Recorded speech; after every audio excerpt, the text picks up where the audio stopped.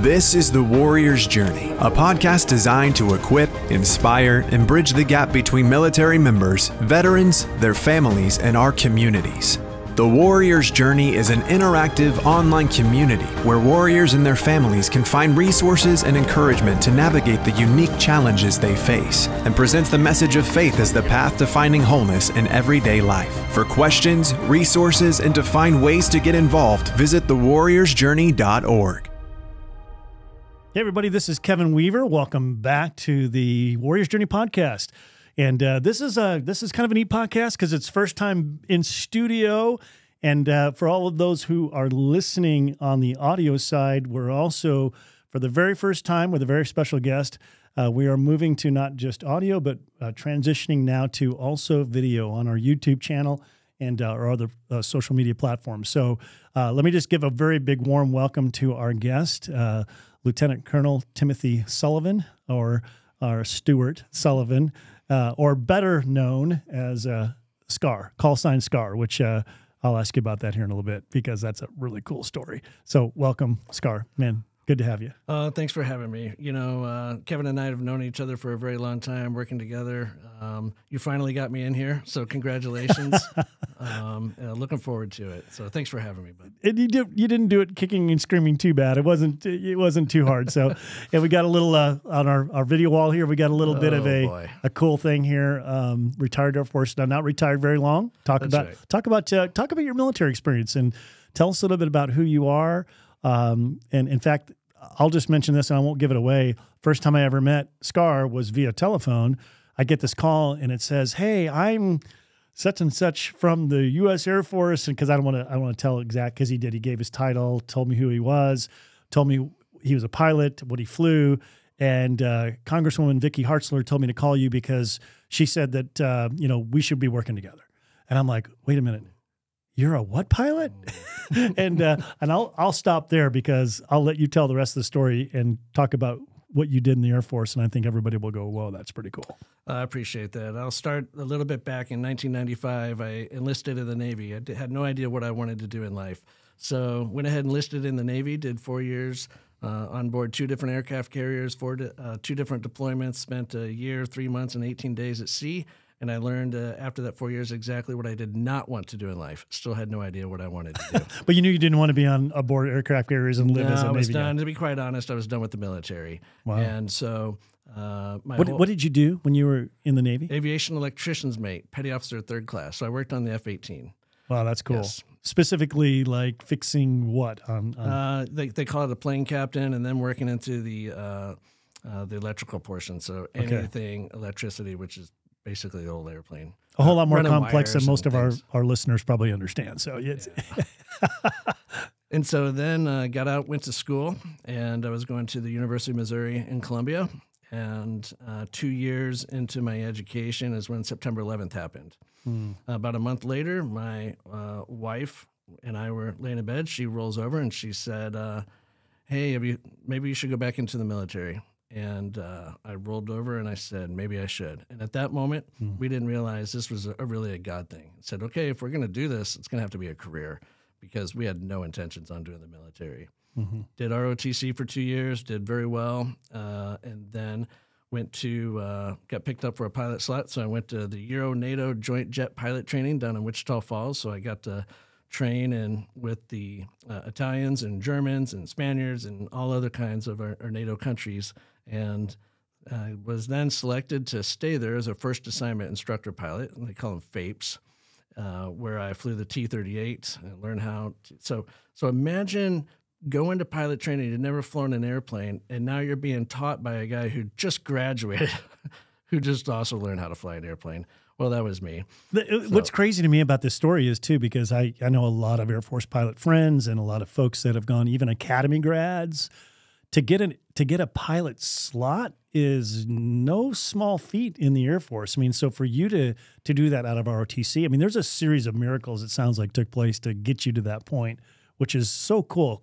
a, probably a dynamic part of the story that a lot of people wouldn't necessarily understand. Is that is that a fair statement? I'm not trying to over dramatize, but it seems like just for you to be able to have access to be a pilot is pretty cool with your story. Uh, it's extremely tough to get a pilot slot, even more so to get into NJEP because mm-hmm. uh, NJEP is short for that Euro NATO Joint Jet Pilot Training. It's still there today because if you go to NJEP, then you know basically you're going to get a fighter or a bomber and that's what everyone wants. Uh, who doesn't want to be a fighter pilot, right? Right, right. Uh, and so, and, and to summarize what you just said, I didn't realize until uh, you know years later that really God has had His hand in this whole thing. It was uh, pretty amazing. Awesome. So after I uh, stay at uh, Wichita Falls, teaching people how to fly airplanes, keeping myself from dying while, while you have a student trying to slam you into other airplanes, I um, came up to Whiteman Air Force Base, did an interview, and did uh, some. Got in the simulator for the first time. Tried to air refuel for the first time. Trying to fly a big airplane for the first time. I have no clue what I'm doing, and, and they're grading me. I completely bomb it. Um, no pun intended. No pun intended. uh, so I, did, I thought kind of my chances were over. But in 2008 is when we moved to Whiteman Air Force Base in Missouri. Uh, started flying the B 2s, and uh, also the T 38 is there as well and uh, progressed quickly through the ranks and was uh, eventually went to U.S. Air Force Weapons School. I like to.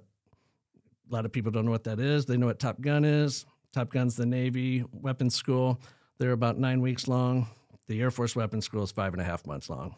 That's crazy. Some of them say, "Well, it takes you that long to figure it out," but no. and so, um, and you and you finished top of your class in uh, I, I, did well in that, and then yeah, he's modest. He finished top of his class. I know because because you ended up being, being an instructor there.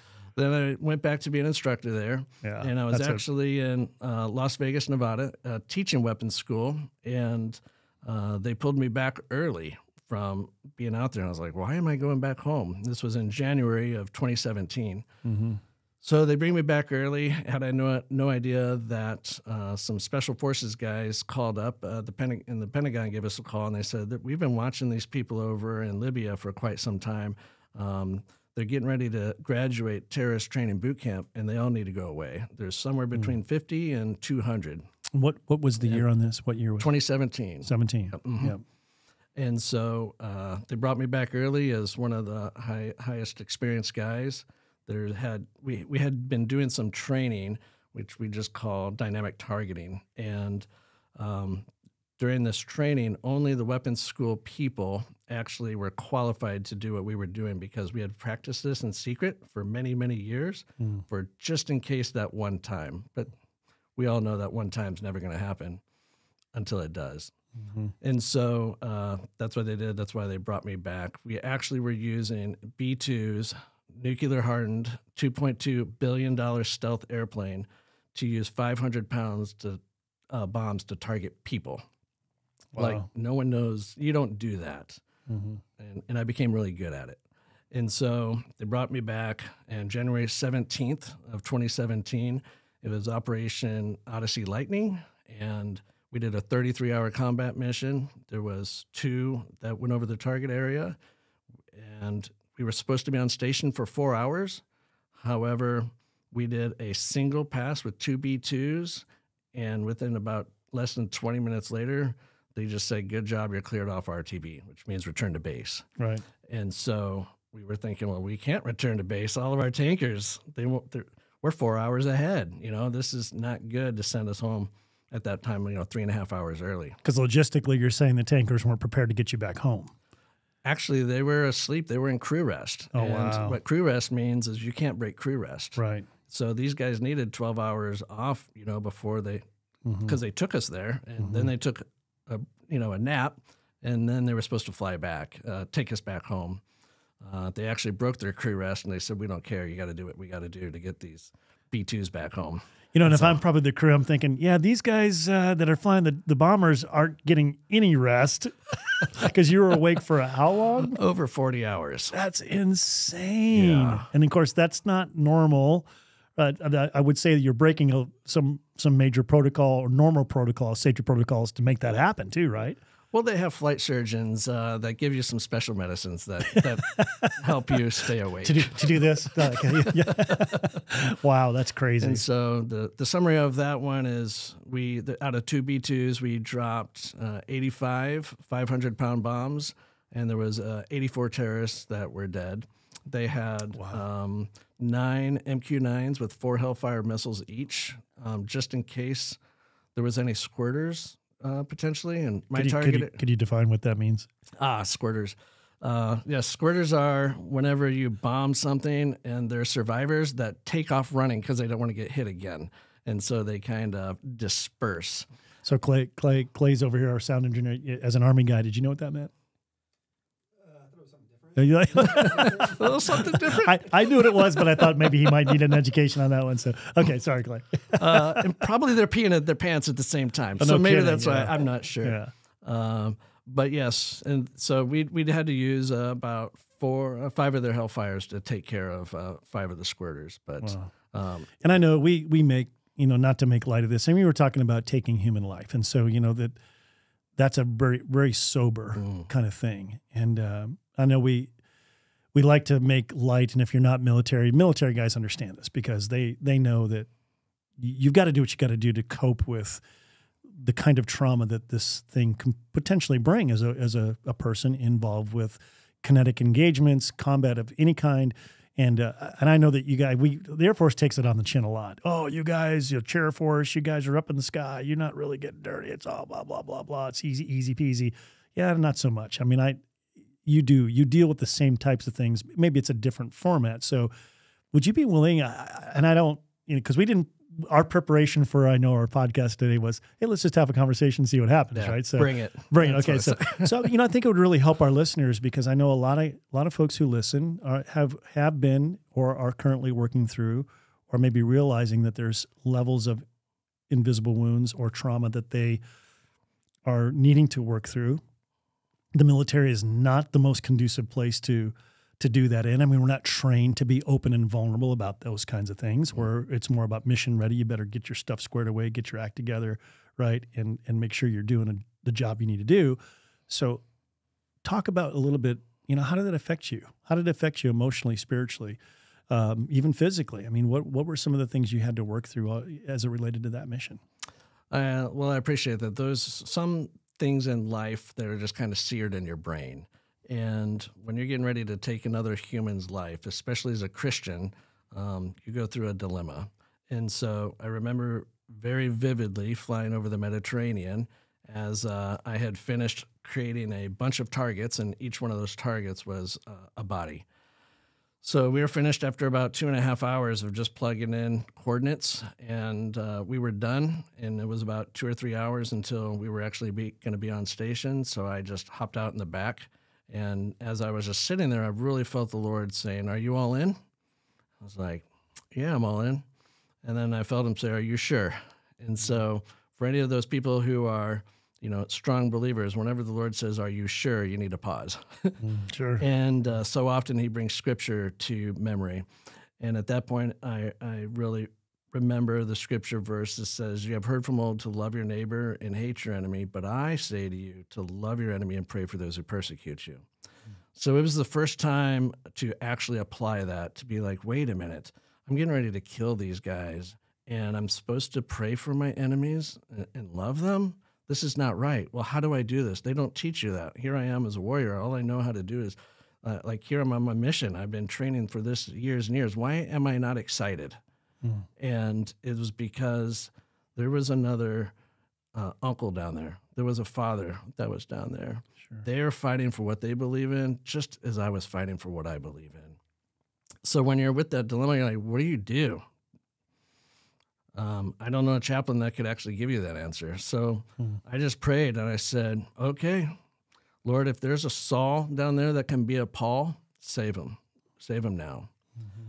If there's a Saul that can be a Paul, then let me mess up mm-hmm. because you're bigger than all of this. Mm-hmm. Let me put in the wrong coordinates. Let the GPS tail fin not work. Let the GPS uh, constellation not work. All the batteries, all the seven miracles that need to happen just in order to drop a bomb on target.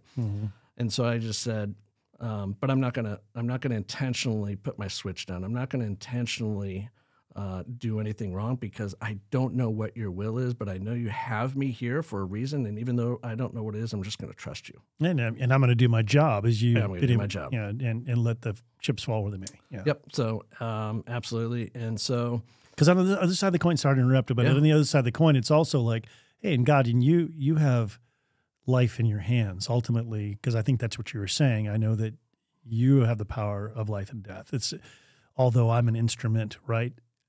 it, it, it, there's a there's a heavy weight that goes with it. But I think with God guiding you and giving that over to the Lord too, it's also hey, and God, and you know who needs to not be here anymore too. Yeah, and I think that's an unfortunate thing we don't talk about. There is such a thing as evil that lives in the world. And uh, you know, we've talked with a lot of uh, even guys on the ground. You know, whether they're Army, Marine Corps, and I think the guys that seem to be most healthy are the ones that realize, hey, we feel like we were instruments you know, given talent by God to to take out folks that were beyond God's ability to reach or and we can get in all kinds of crazy mm-hmm. theological discussions which we probably shouldn't do here but you know but the idea that hey to reconcile that that moral injury aspect of my life you know we have to trust we have to trust something beyond ourselves in all this because we can't make heads or tails of it on our own yeah I appreciate that and and so I think uh, so often you, you can start picking apart these stories about, well, you know this is true and this is right. And I say there's a difference between head knowledge and heart knowledge. Mm-hmm. You can know all these things, you can know all these truths, but uh, individual experiences for uh, you know, varies from person to person. Mm-hmm. So one person, yeah, they may be fine for the whole life, and the other person might do the exact same thing, and they're just destroyed inside. Yeah, and they don't know how to get it fixed. And so that's why I appreciate what you guys are doing by let's seek the invisible wounds, which no one can see, mm-hmm. um, and you guys are doing a great job at that. And because uh, when I was done, uh, we landed and we had to hurry up and do a debrief. And that debrief was a whole bunch of people cheering and uh, clapping whenever we're watching bodies explode, you know, in high definition. And you're like, huh, that was me. Hmm. Okay, now it's time for me to go home.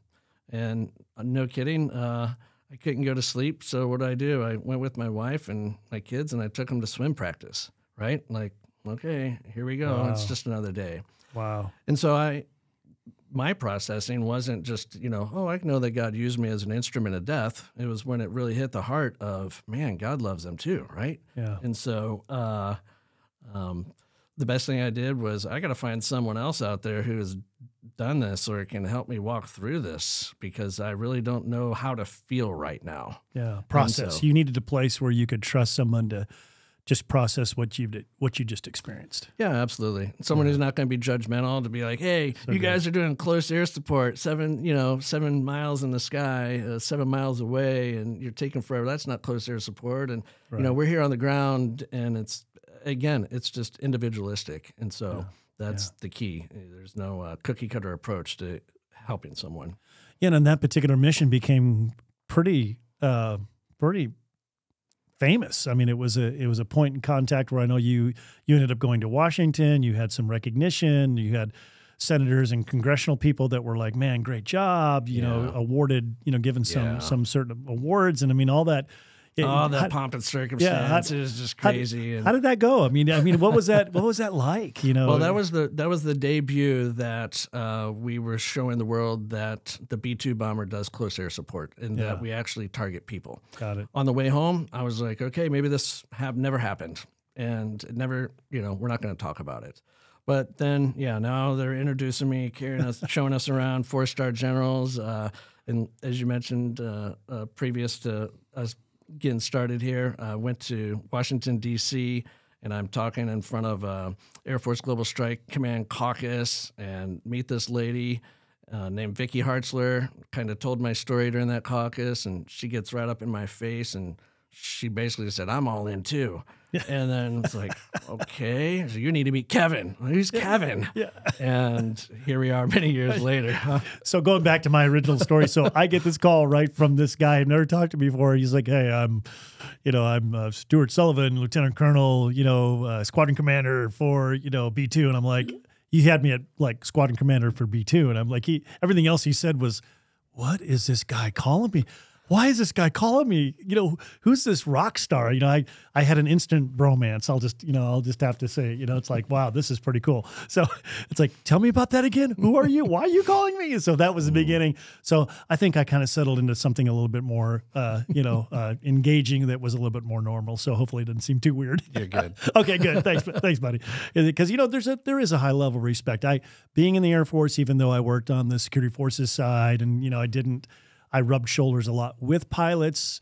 Uh, you know, there was a there was a day that I, I, I actually thought about you know being a pilot back in high school and all that kind of stuff, and and um, you know, which is it, it, there's a lot. I mean, you you start looking into what it takes to to, to get to that place, and it's uh it's a lot, you know. And so there's a, a I think I have a clear empathetical respect, you know, for what you and all the guys that do what you do uh, what you have to go through to make it happen. So thank you. Thank you for your sacrifice and your willingness to put yourself in that position.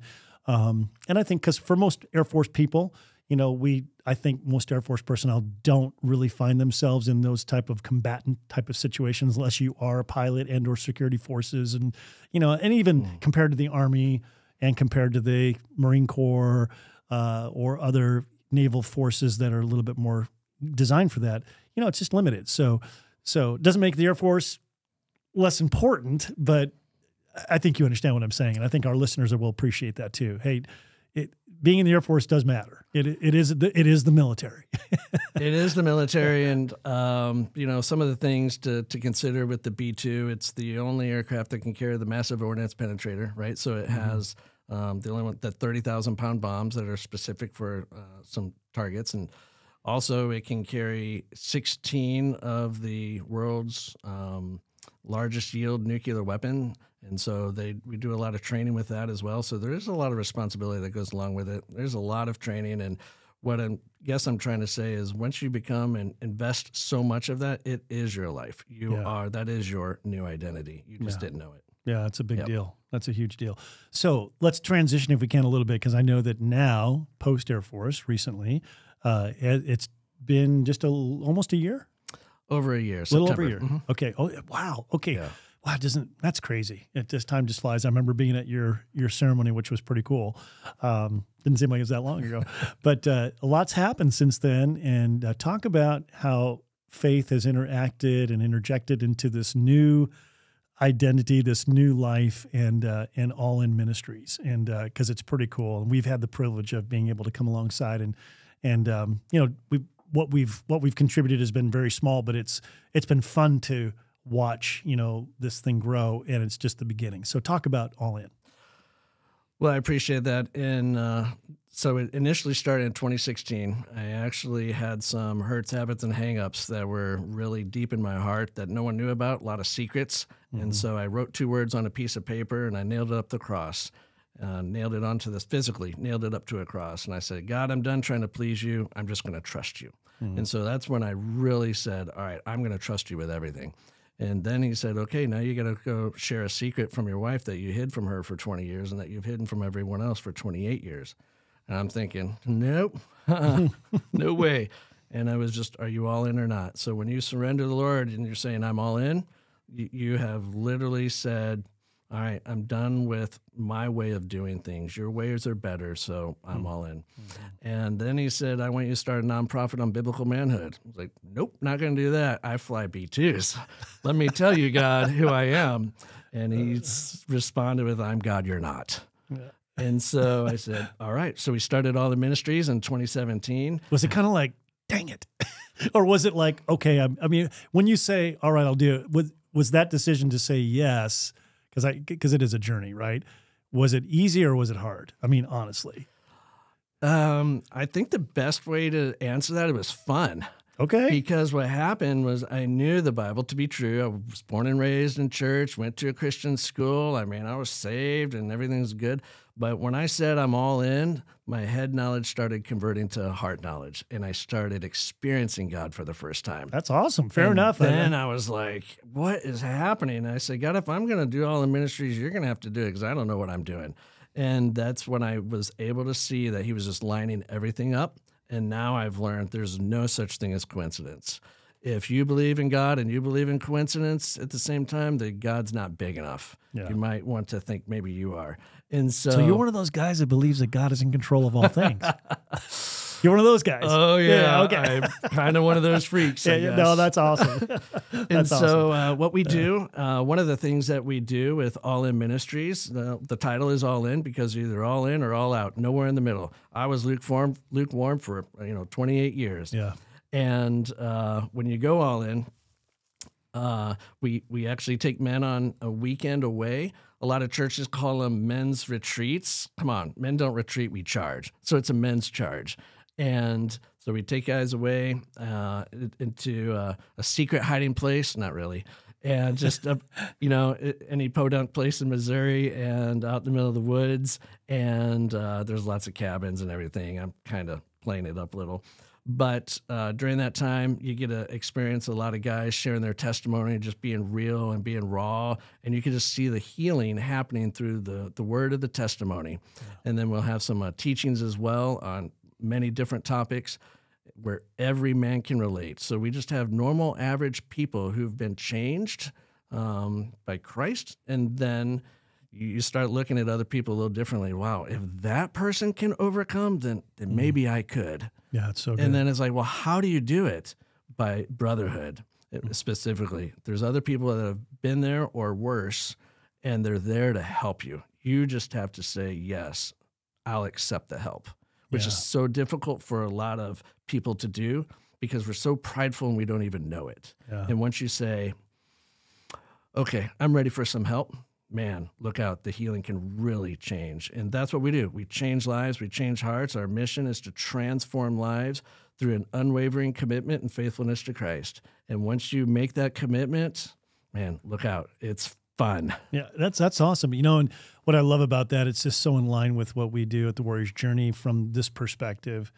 And you know, I've I've had the privilege of being at several of these events, these charges that are they are they're fun to watch, and it's fun to watch the vulnerability uh, kind of fall upon that that that person's life, the individuals that are actually coming into the in, to engage with these because you know we're we're like prideful, as you said, or afraid, or which probably is another form of pride, right? Because we allow fear to enter in, or or it's uncomfortable, or and most guys don't want to be vulnerable. I mean, the whole idea of vulnerability is like, Come on, uh, I'm a man, right? yeah, I'm well- a B 2 pilot. Yeah. I'm- I can't let you see anything else Yeah. but how strong I am. yeah, because That's it's like you have to let go of the yoke. That's right. right? You can't be in control. Wow, that's a that's a big ask. But what what's really cool about this is the environment just really allows that to happen. I think organically, naturally, gives God's presence and His Spirit the ability to to do that in a way that's pretty meaningful. and It's been fun to watch, and and uh, you know we even have some others here in the studio today that have personal testimonies on how that's affected. So uh, so Mark and Tammy are here and they're watching. Uh, what, what they're, they're part of your team now. So Yes. so so anyway, I just mentioned that because I think we underestimate the power of community, the power of, of mission and, and purpose that's related to why we were created, and and then being able to being able to overcome uh, those crazy tendencies that we all battle and that mm. we've all been we're all guilty of.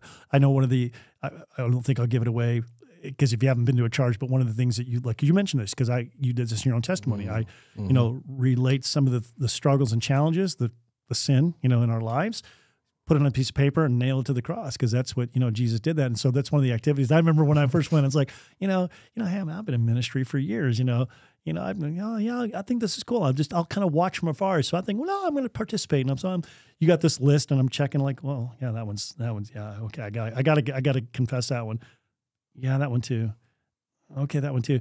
There's like several rows, and I'm like, oh my word, there's a bunch on here. That and so I did that too, and I'm like, okay, I'm gonna go nail this. And next thing I know, I'm like having this moment with God, and I was like, wait a minute, that wasn't supposed to happen, you know. and uh, it was pretty cool, Yeah, you know, good, just really, good. really neat. So I love the fact that God has given you this vision and this ability to create an environment where men, specifically men, can come to a place that's safe and really find um, a place where they can say, "Hey, okay, I'm, this is for real." Yes. Pretty powerful. Thanks. I appreciate it. It's a lot of fun. And one of the other things I do uh, for any listeners, if they ever want uh, for any of their events, what I like to do is reenact as a Roman cross builder. You've seen that multiple times where I'll put a big log up on my shoulder, even if it's a little telephone pole. I don't know, bring it. Uh, and then we, I'll just chop it up and reenact as you know the Roman cross builder for Jesus, and yeah. I do it this at churches where other people, you know, families, we can come forward and you know do the same thing, nail their stuff up to the cross and leave it there, right? Don't pick it back up. Yeah. So a lot of for the warriors, you know, with identity crisis and the hurts that they have and the pain. Uh, step one is to actually say, okay, I just give it up. Step two, three, and four is the follow on. Okay, now I need to do something. Yeah. So yeah. yeah. So so amazingly good. Can I just tell this quick little story? I think it was the second time that we were at the second charge and and uh, you said, "Hey, I got these really cool." You were getting ready to, backstage, and you know, getting ready to go up and do your cross thing. He said, "I got these really cool pieces of wood, and they were great." And I looked at those, and they, I think they were like some oak post, if I remember right. Or they were hardwoods. Seasoned walnut. Is that what it was? It was okay. a bad decision. Yeah, yeah, yeah. Because I was like, wait a minute.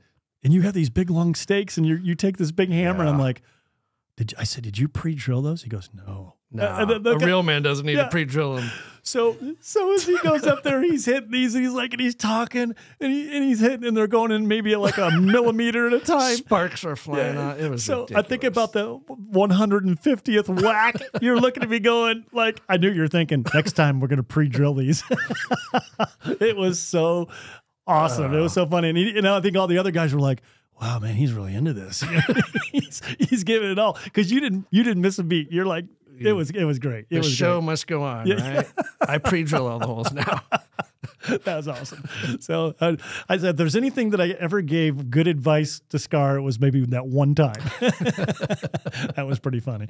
So good uh, stuff. So so talk to us about what's what's the future hold because you guys have been so successful in doing these charges, and and you know not just here in Missouri, but I know you we've we've seen those happen now uh, in places like near Seven Special Forces Group. You know, mm. we we uh, you know we've had these spread out, and we have a we'd like to continue to be a help you know to see that vision go forward because we realize that the warrior to warrior in in our in our world, you know, and I know that all in goes beyond just the military because because your heart is to reach all men. Mm. So, but I'm really truly thankful how you're helping military men, especially.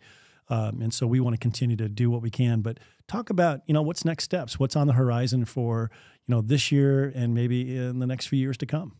Just got a phone call two days ago. If you didn't know, uh, there's a gentleman that really wants to get to Guam, get us to Guam. So maybe you can help us do an All In Men's charge out at Guam.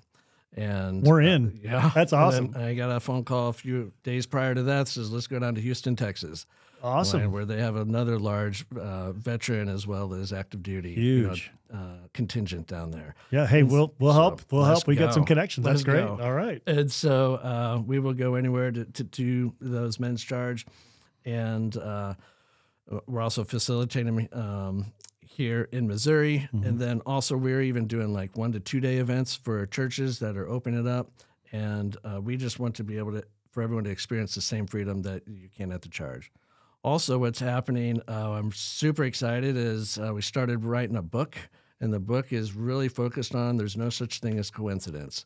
And it's going through uh, various different stories of uh, the life of a B 2 pilot, a guy that was homegrown Missouri, you know, uh, guy who couldn't finish high school without cheating to meeting an Amish guy who gives his life to the Lord and and all the little intricacies that has to happen in order for that you know to come to fruition.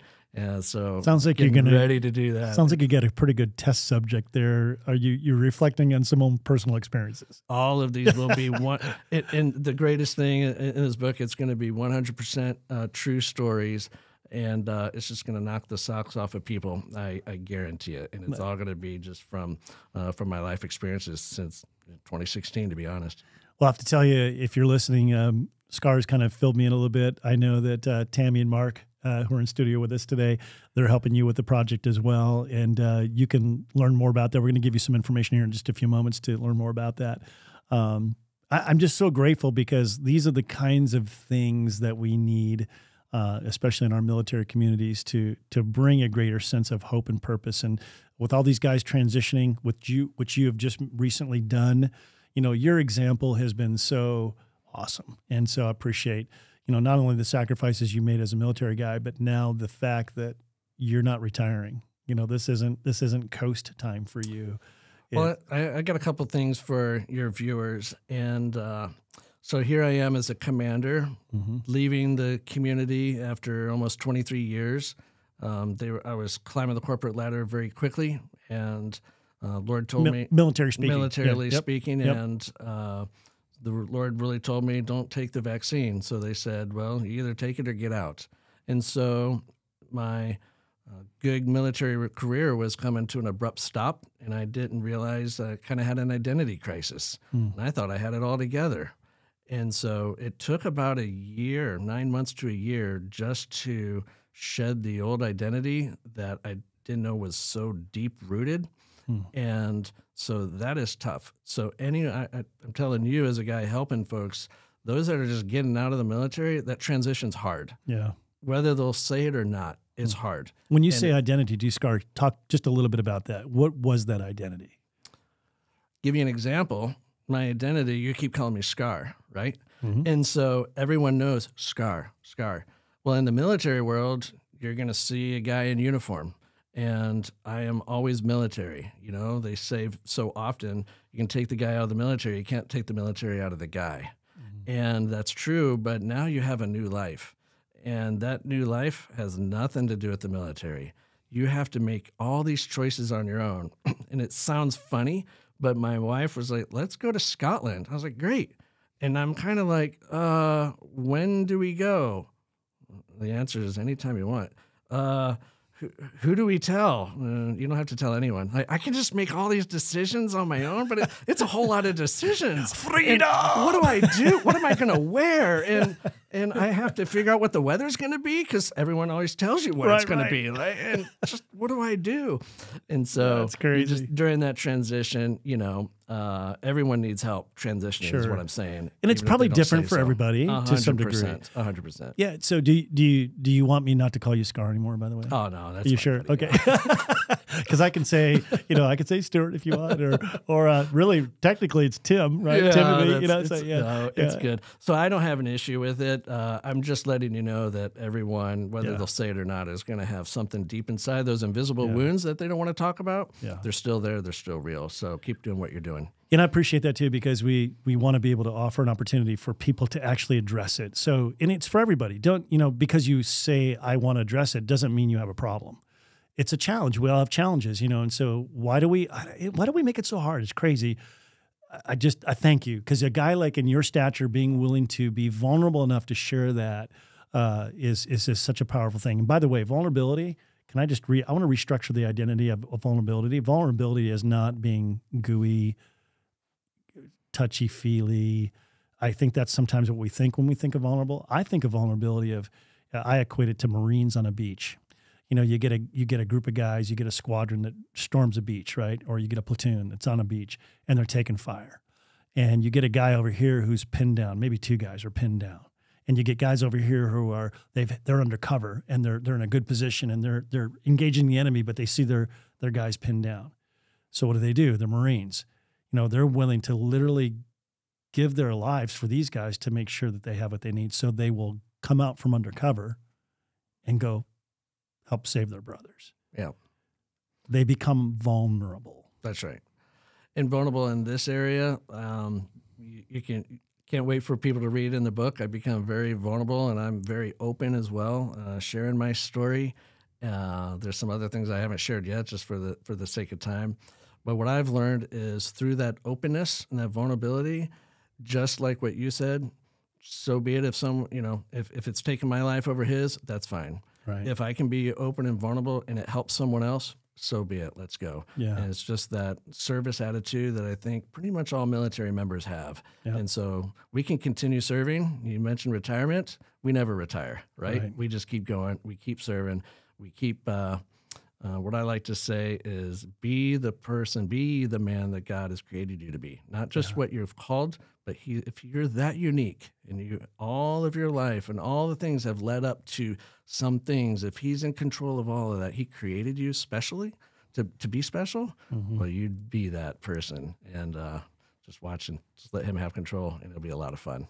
The only thing I would I would add to that because you said it so eloquently, that's beautiful, would be, and remember that vulnerability is the greatest act of heroism that you could provide for your brother or your sister who's in That's right. That's you know, right. so which is pretty cool. Because when you think of it that way, then it's like, oh, okay, uh, yeah, I'll be willing to take a bullet, you know, to put my own reputation on the line.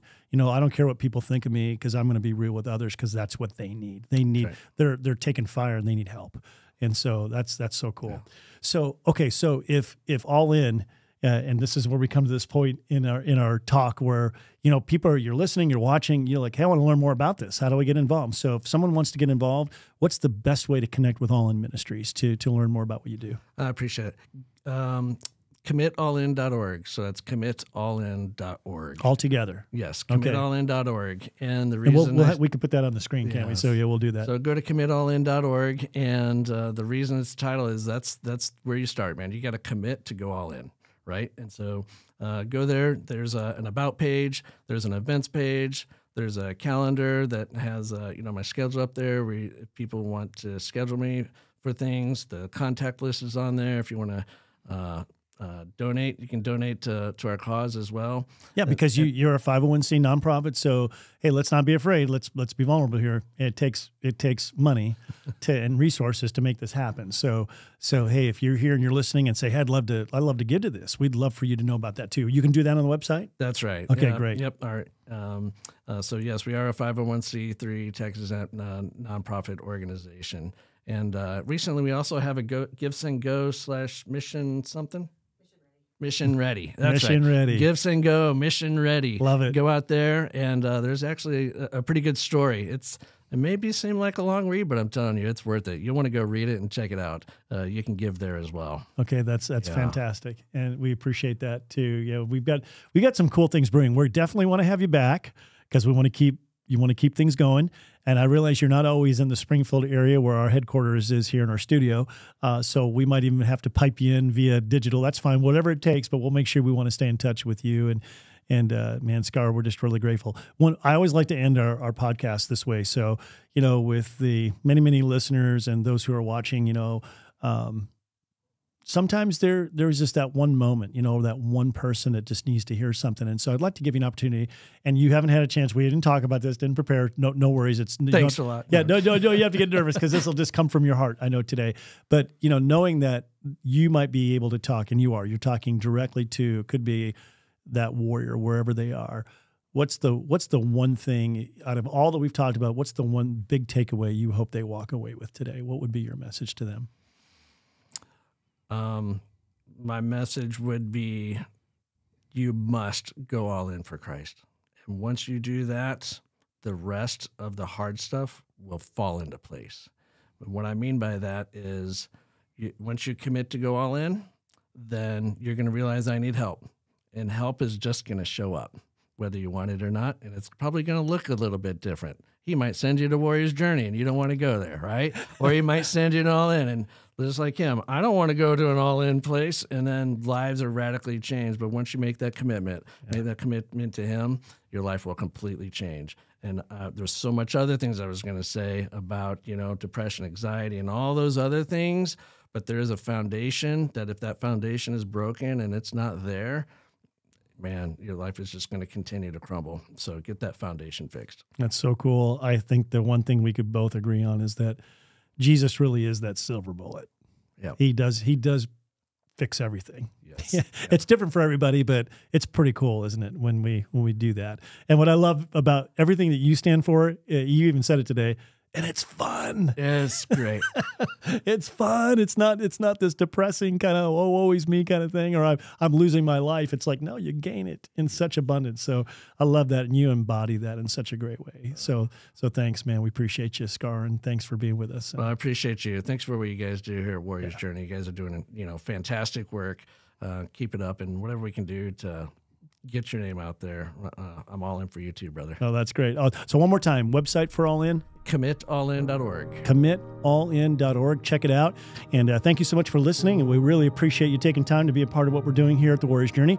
And of course, you know you can contact us at any time. Uh, twj.org, uh, twj.org. You know, give us a call or, or, or look us up online. Uh, hit the Let's Talk button, and we'll make sure that we will be willing to connect with you. Thanks so much for joining us. And until next time, uh, we'll see you soon. Thank you for listening to the Warrior's Journey podcast. Be sure to leave a review and to ask questions, give, or get involved, visit thewarriorsjourney.org today.